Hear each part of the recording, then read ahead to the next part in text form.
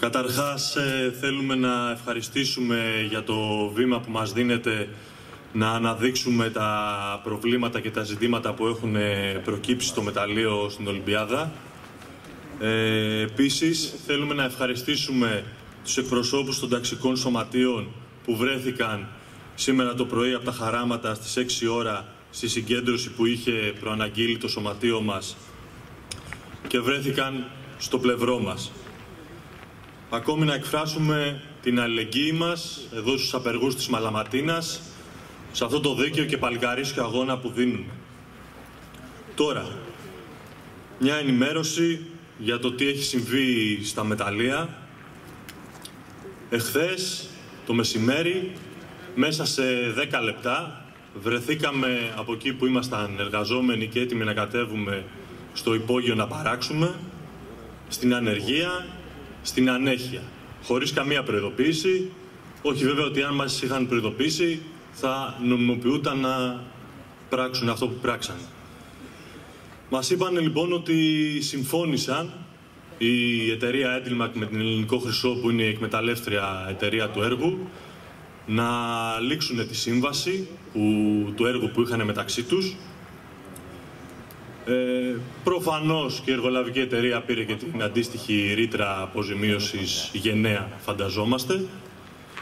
Και για τους εργαζόμενους, τους 92 που είμαστε εκεί πέρα και δουλεύαμε, ούτε κουβέντα, τίποτα. Απλά σαν ε, φυσικό φαινόμενο.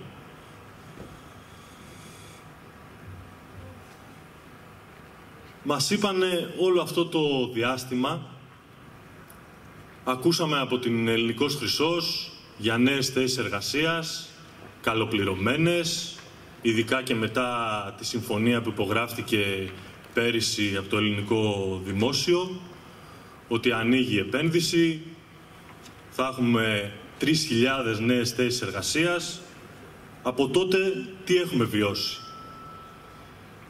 Τρομοκρατία, μείωση των εργασιακών δικαιωμάτων και στους εργολαβικούς εργαζόμενους και στους εργαζόμενους της Ελληνικός Χρυσός, συνδικαλιστικές διώξεις, συνδικαλιστική απόλυση του Προέδρου ε, του Σωματείου για να τρομοκρατήσουν τους εργαζόμενους που τότε διεκδικούσαμε ε, κάποια πράγματα. Και τώρα απόλυση και, και ανέχεια για 100 και πλέον εργαζόμενους.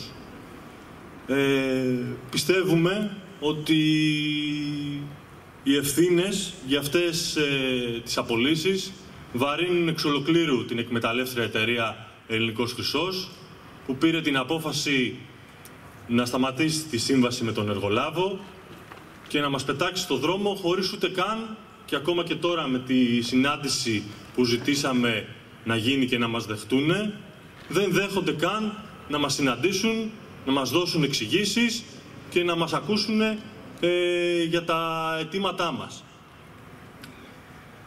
Αρκεστήκανε μόνο στο να βγάλουν μία ανακοίνωση η οποία περιληπτικά έλεγε ότι σταματήσαμε τον εργολάβο λόγω υψηλού εργατικού κόστους, ότι και για να συνεχίσει να ε, λειτουργεί το μεταλλείο και να είναι βιώσιμο, έπρεπε να προβούνε σε αυτή την ενέργεια.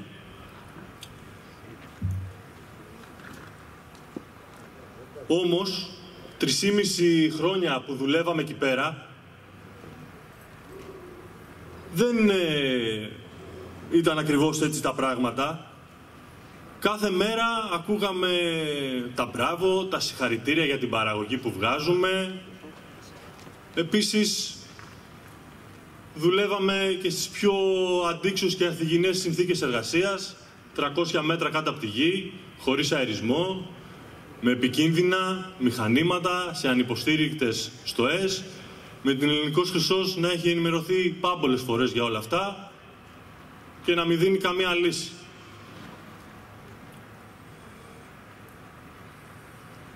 Ακόμη στο θέμα της ε, βιωσιμότητας που λένε, έχουν πάρει πάμπολες χρηματοδοτήσεις ε, από τους δικούς μας φόρους για να γίνει αυτή η επένδυση, για να μας λένε τώρα ότι δεν βγαίνουν. Έτσι, γινόμαστε και όλοι μας επιχειρηματίες. Να χρηματοδοτεί ο λαός για να, για να βγάζουν κέρδη. Ποιο είναι το, το επιχειρηματικό ρίσκο που μας λένε και ακούμε; Όταν εμείς χρηματοδοτούμε και, απλά, και, και αυτοί απλά καρπώνονται το κέρδος από τη δικιά μας εργασία. Εν κατακλείδη, εμείς αυτό ε, που διεκδικούμε και αποφασίσαμε και με τη συνέλευση που πραγματοποιήσαμε σήμερα, να διασφαλιστούν όλες οι θέσεις εργασίας ε, των εργαζόμενων, να απορροφηθούμε στο έργο, είτε στην ε, Ελληνικός Χρυσός, είτε σε οποιοδήποτε άλλο εργολάβο. Και αυτό πρέπει να το διασφαλίσει η Ελληνικός Χρυσός που είναι η εκμεταλλεύτρια εταιρεία και με την κυβέρνηση που έχει μεγάλες ευθύνες σε μια τόσο πολυαφημισμένη επένδυση που δεν παίρνει θέση για όλα αυτά. Σε αυτό το πλαίσιο έχουμε καλέσει αύριο πάλι να μας δεχτούν σε συνάντηση ε, η Ελληνικός Χρυσός στα κεντρικά τους στο Στρατόνι και καλούμε 8 η ώρα το πρωί σε παράσταση διαμαρτυρίας έξω από τα κεντρικά τους ε, γραφεία ε, για τις απολύσεις που βιώνουν. Ευχαριστούμε και πάλι για το βήμα που μας δόθηκε για να εκφράσουμε τα προβλήματά μας και τα αιτήματά μας. Καλή συνέχεια σε όλους και καλή δύναμη.